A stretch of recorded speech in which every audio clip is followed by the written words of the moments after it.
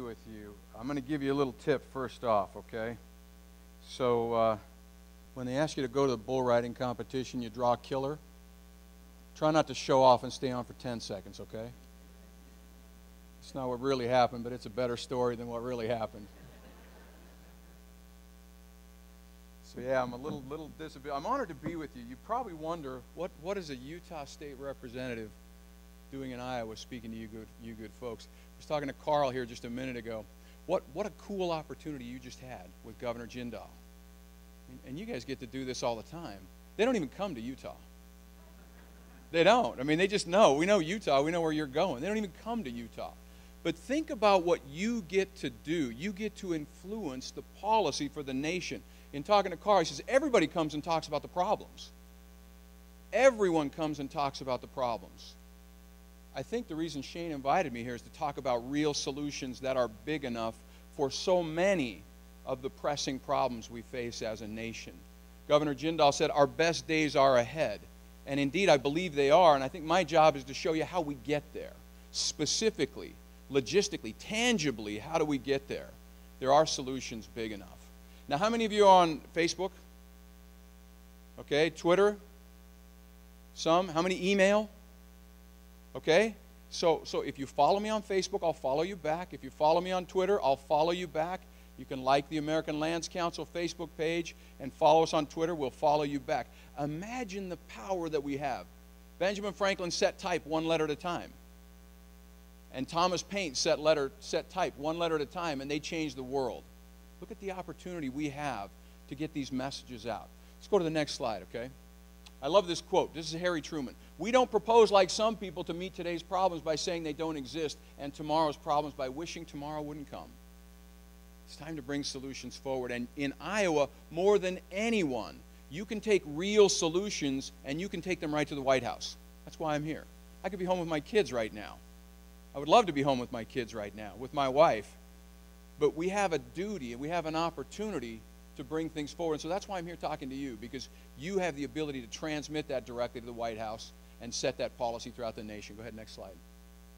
So on the website, there's a take action uh, button on the website. If you get on the website, log in, AmericanLandsCouncil.org. If you're tweeting, hashtag free the lands. And we're going to talk about what that means. Go ahead. Yeah, don't go there.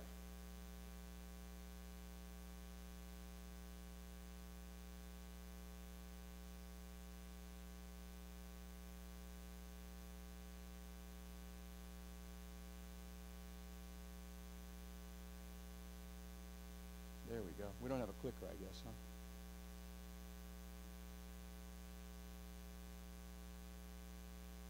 Okay, just go to the next slide, right? Here we go. Just go down to that. Yeah. Yeah, go to that one.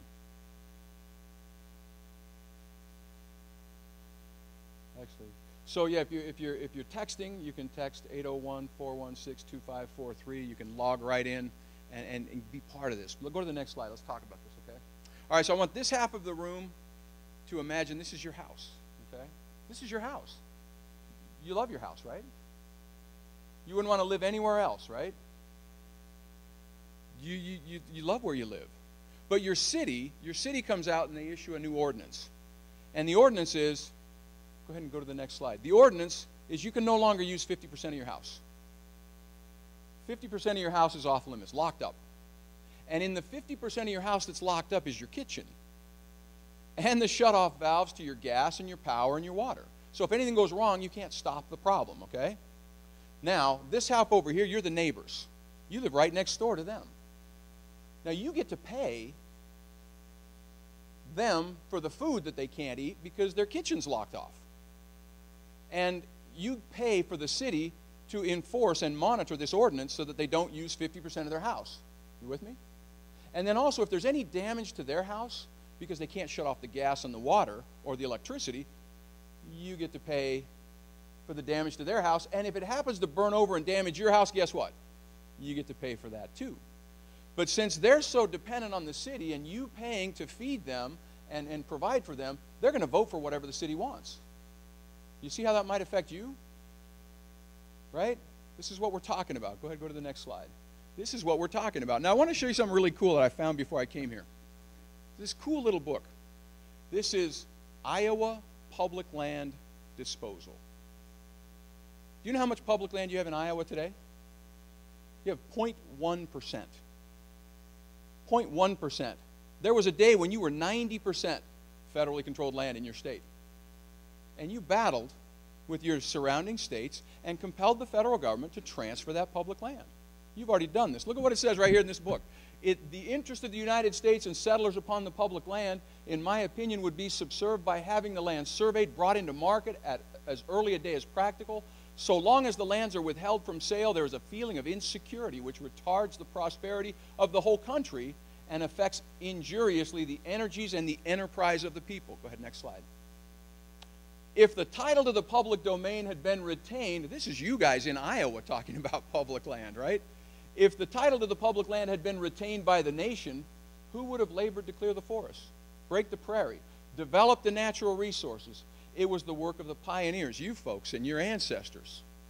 The value comes from, from neighbors, schools, churches, mills, stores, and the pioneers were ready to defend what their enterprise and industry had earned. You already fought this fight for the good of the nation. Go ahead.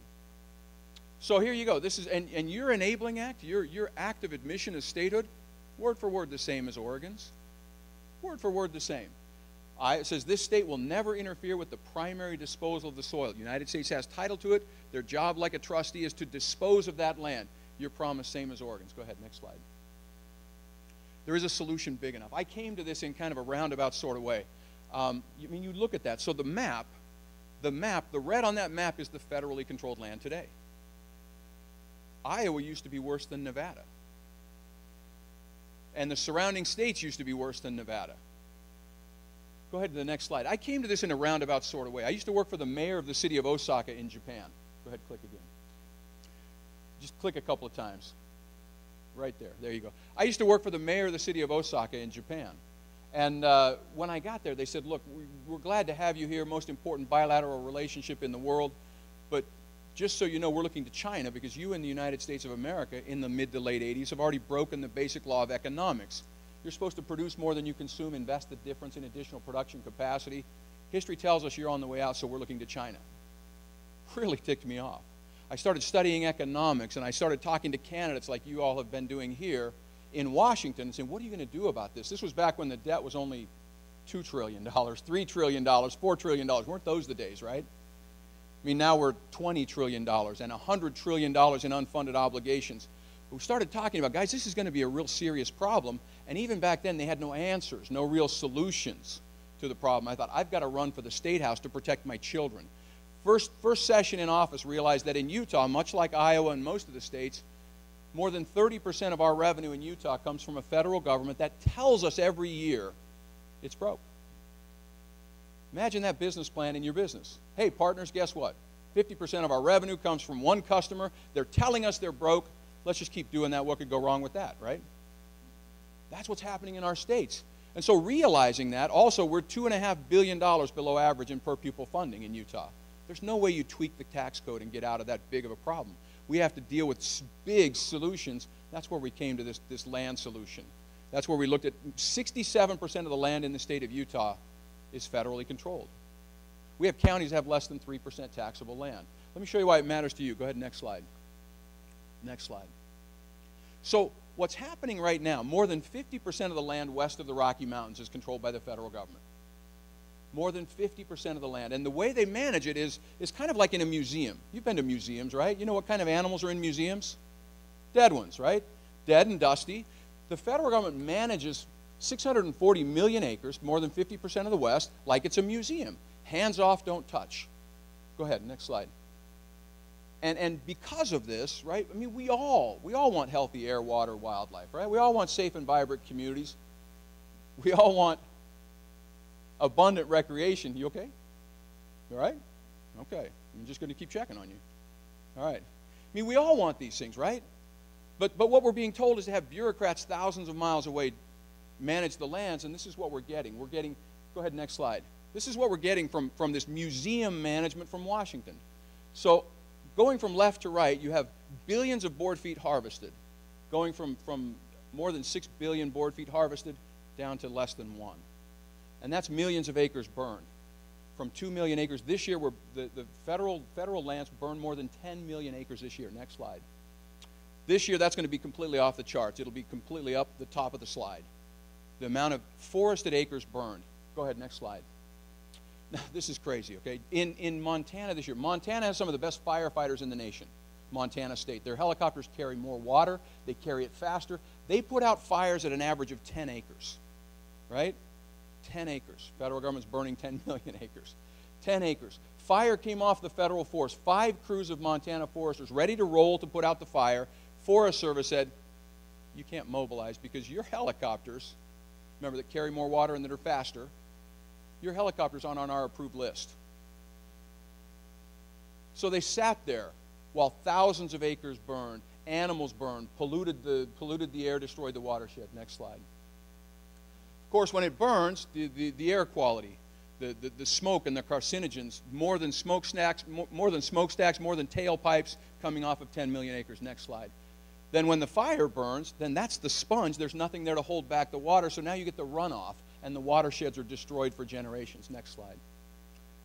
In fact, University of California Merced scientists just in June of this year said if they just maintained the Sierra Nevadas like a garden that you all know so well, if you just harvested the trees to the sustainable density, they would conserve in drought-stricken California way more than a quarter trillion gallons of water a year. And they would have money to fund education and public safety and have a healthier forest. And instead we get lose, lose, lose under distant bureaucratic museum management. Next slide. So this is in northern Nevada two years ago. Little bear cub, they called her Cinder Bear. She's walking through this, this catastrophic forest, burned up to her elbows. Luckily, she finds a spot that's not an inferno, collapses under a trailer. They find her. She's the lucky one. They nurse her back to health, only to be released into another overgrown catastrophic forest. Next slide. Millions aren't so lucky. Millions aren't so lucky. For every acre burned, they estimate five, five vertebrates are incinerated. 10 million acres just this year. This is, this is it, it doesn't have to be this way. I mean, it doesn't have to be this way. Go ahead, next slide. Oh, don't, oh, I didn't think that would play. Go ahead and click to the next slide. I didn't think that would actually play. There we go. So what, what that last slide, you would see a picture of a woman. So this is Josephine County, Oregon. Woman in Josephine County, Oregon calls the sheriff, and she says, or she calls 911 and she says, Help, there's someone beating down my door. Can you send the sheriff out? 911 says, I'm sorry, the sheriff only operates from 9 to 5. Can you ask him to go away? She says, I already tried that. She said, Can you call back tomorrow? The sheriff only works from 9 to 5. And she was raped and brutalized because the sheriff's department is funded by timber receipts. Josephine County had some of the most productive forests in the world that have now been shut down by extremists and bureaucrats, and it's now a tinderbox liability that used to fund public safety. Sheriff Gilbertson used to have 30 sheriff's deputies, he's down to two. They used to have some of the best funded schools in the nation. Now they're on Title I funding almost all their schools. It doesn't have to be this way. But this is what passes for environmentalism but there is a solution big enough. Oh, so go ahead, no, back to that slide. Two years ago, the federal government, in their own budget disputes, shut down all the national parks. These are assets that actually produce money. In Utah, it's a $10 billion industry. They shut them down overnight. And, and those are the assets they shut down. In fact, uh, Mount Rushmore, they, they put barricades miles back so you couldn't even see Mount Rushmore from the highway because there were some memos that said, make it hurt. This is what museum management, bureaucratic management looks like. Go ahead, next slide. So the Government Accountability Office, the Government Accountability Office, three years ago testifying to Congress, said there is more recoverable oil in Utah, Colorado, and Wyoming than the rest of the world combined, locked up in federally controlled lands. What would energy independence mean for Iowa? What would it mean for the entire nation? Next slide. This is 60 Minutes about four months ago. 60 Minutes said, Modern life's devices are in the grips of China. Let's think about what those modern life devices are all of your computer technology, your smartphones, renewable energy technology, and all of our military technology. Require rare earth elements to function. China has controlled 90% of the market share of rare earth elements, and yet from New Mexico to Alaska, we have an abundance of rare earth elements locked up in museum management by federal bureaucrats thousands of miles away. If China were to call and say, we're not sending you rare earths anymore, we couldn't put a military on the field. Does that matter to Iowa? Next slide. So you've got on the upper left, you've got federally controlled lands. On the upper right, these are roadless rules and wilderness. Lower left, wildfires more than 250 acres. Notice a similarity. Lower left, $150 trillion in mineral value locked up in federally controlled lands. Are you starting to connect the dots on solutions when we're 20 trillion in debt and 100 trillion dollars in unfunded obligations? Just like you folks in Iowa in your history with the public land said this is how you make the nation productive. Go ahead next slide. So there was a report done about 4 months ago, Property Environmental Research Center out of Bozeman, and they said that by all accounts our federal lands are in trouble. Both in terms of economic performance, but also environmental stewardship. Next slide. Get this for every dollar that the federal government spends managing public lands, it loses 27 cents. Now, of course, they, their theory is they're going to make it up in the volume, right? Exactly. Now, the states, on the other hand, for every dollar that the states, the western states, spend managing public land, states already manage millions of acres of public land. For every dollar the states spend managing public land, we generate on average a positive $14.51. Feds lose 27 cents per dollar spent, the states make 14.51. And yet you've got groups out there that want to increase control and keep us from having the freedom on our lands. They say, oh, you couldn't afford to do that. Well, you're right. We can't afford to do it the way the federal government does it. We can't afford not to do it the way the states already manage millions of acres of public land. Um, yeah, Forest Service can't even keep up with its mission. It's, it's killing the land. Go ahead. Um, go ahead. So what we're talking about is multiple use lands. We're not talking about national parks. We're not talking about military Indian reservations. We're talking about multiple use lands for the federal government to transfer those to the states. Go ahead. So the idea is to free the lands and we can tend them more like a garden. You guys know gardening here, right? Right? So, so think about this. You've got a garden that is your livelihood. It's your source of food. You know the conditions, you know the soil, you know the climate, you know the pests. You're right there if anything goes wrong who would you rather have manage that garden? Would you rather manage it or would you rather someone thousands of miles away that knows nothing about your climate and your conditions to manage the garden? Right? I mean, it makes sense. Go ahead, next slide. Canada's already done this.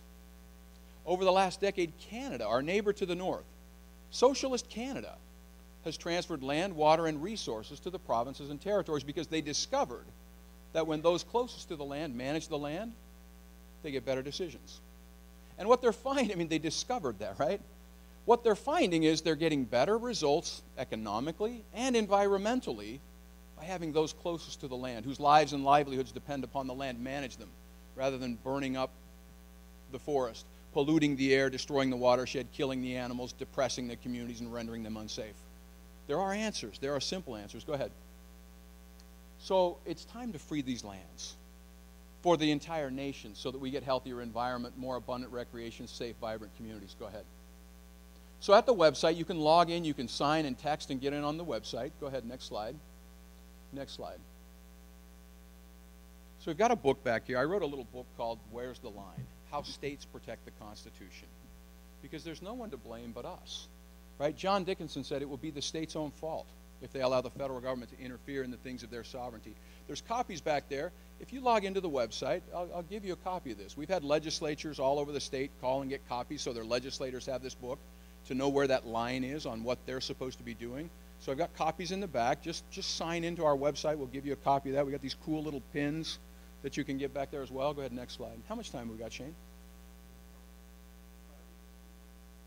Do we? Okay, let's um, let me let me just let's go through. Let me just catch a couple couple slides at the end. There's, let's go ahead. Just keep going through. I'll get you to the uh, life, liberty, property. You know that. You know we're the boss, right? Deriving their just powers from the consent of the governed.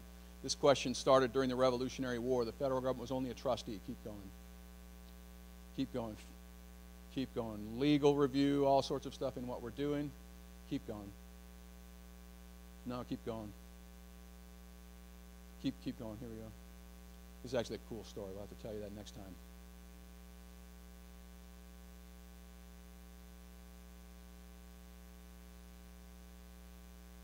Wait, wait, back up, back up to that. You got to know this. Back up right there to the bicycle. Oh, you're killing me here. All right, so think about that, okay? Think about that. How many of you think that the answer to that predicament is to have a stronger rider? What if we just had Lance Armstrong in his prime, all souped up on goofballs or whatever he was taking? Is that the answer? What if we just veer the bicycle a little bit to the left or a little bit to the right? Is that the answer? No, you got to restore balance, right? That's the whole situation. We have a system problem. Go ahead, and click through just a couple. I want to get you this last part because this is what we need you to do in Iowa. Keep going. That's all in the book. If you get a copy of the book, this is all in there. Go ahead, keep going. I've got to tell you about this gentleman right here. Keep going, one more. Next one. No, keep going. Here we go, right here. No, back up. This is what it used to look like.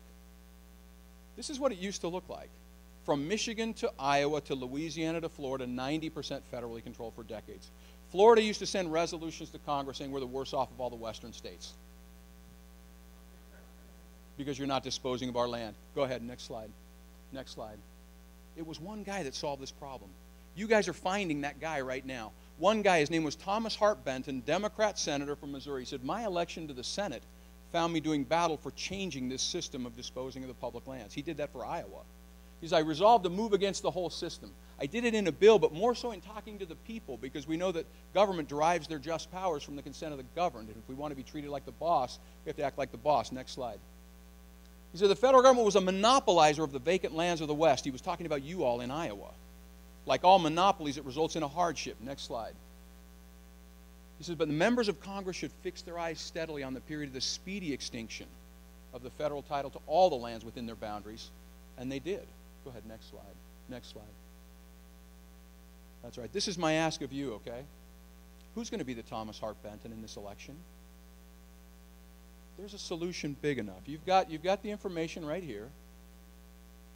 There is a solution big enough for so many of the problems that face our nation. We can't put a military on the field right now without China's say so.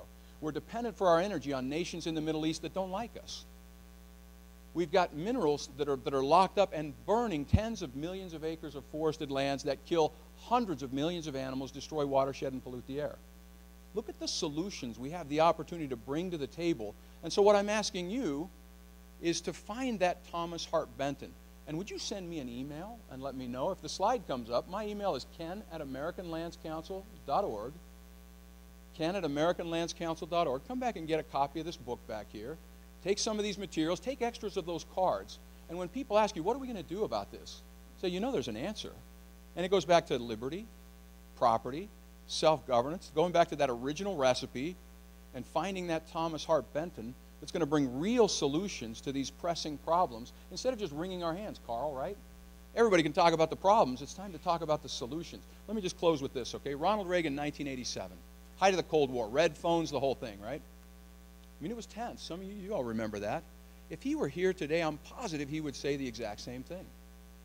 He said, This is a wonderful time to be alive. We're lucky not to live in pale and timid times. We've been blessed with the opportunity to stand for something for liberty and freedom and fairness, and I would add property as the master resource. And these are things worth fighting for, worth devoting our lives to. So let us go forth with good cheer and stout hearts, happy warriors, out to seize back a country and a world to freedom. Thank you very much. I'm counting on you all. Probably have time for, say, one question.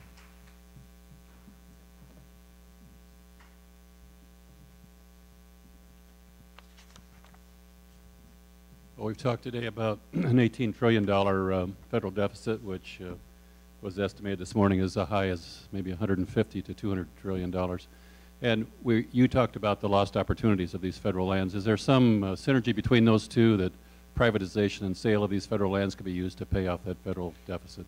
Yeah, and so and so privatization is not really the way to go after 100 years, right? So so you want the you want the egg rather than the goose. You want the golden egg. You want to make them productive because what happens after 100 years when the federal government didn't keep the same promise that it kept to you? We've got grazing and mining and ranching and recreation and all these different interests that are property rights that have vested. And so the idea is transfer the land to the state, just like they did to Texas, just like they did to Hawaii, as a matter of fact, just like they did to Tennessee and others. Transfer them to the state so the local governments can sort out those interests. But instead of having Garfield County be 3% taxable land And in fact, Garfield County just did a declaration of an economic state of emergency because after Clinton named the monument, he locked up 2 million acres and $2 trillion worth of the world's cleanest burning coal. In Garfield County, Garfield County, their schools are now closing. They've gone from 150 K through 12 students down to 50. Once their schools close, you know, the community's gone. And they've just done an economic state of emergency, and they want to go out and name more monuments. So, no, it's so what you do is you unleash that, right? Where the, the, the, the timber receipts used to be some of the best, the best revenue coming into the federal government. Now it's a liability. So we've got the opportunity to take what federal bureaucratic museum management has turned into a catastrophic liability and turn it into an asset, right? On, on leasing of oil and gas and mining and those sorts of things, opportunities. But the biggest thing is the environmental destruction. We have the opportunity to protect our lands and keep them pristine, open access by letting the garden, let, letting the gardener right on the land who knows the land manage the land. So, and that, and that, if I had time, I'd tell you how in the farm bill just last year, because these, these counties are deprived of the ability to tax the land, they, they pay, Congress pays what they call PILT, payment in lieu of the taxes that you all get to collect. Payment in lieu of taxes. We call it pennies in lieu of trillions, right?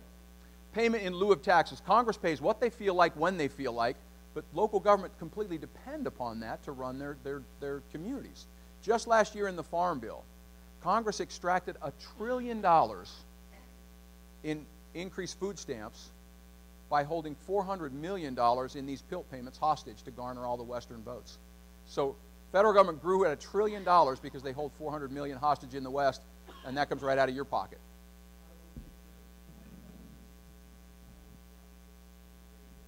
Tell you what, I- That's out I'll let him league. talk talk to you about that privately. We have to to move on. Thank you very much. The reason I'm here away from my family and my children is I'm counting on you to find Thomas Hart Benton to bring forward the only solution big enough. Thank you very much.